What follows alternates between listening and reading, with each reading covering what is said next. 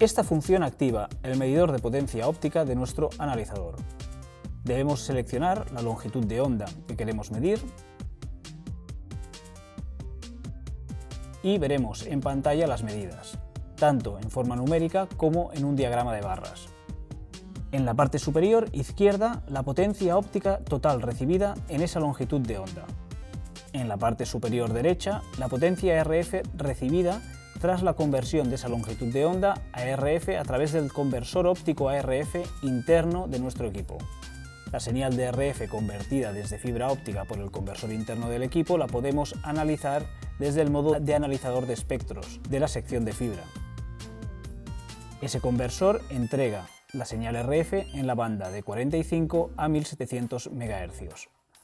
Finalmente, en la parte inferior podemos ver la potencia relativa respecto a la referencia que seleccionemos. Presionando el botón Referencia, podemos usar de referencia la señal que estamos recibiendo en estos momentos antes de movernos a otro punto de la red para realizar más medidas.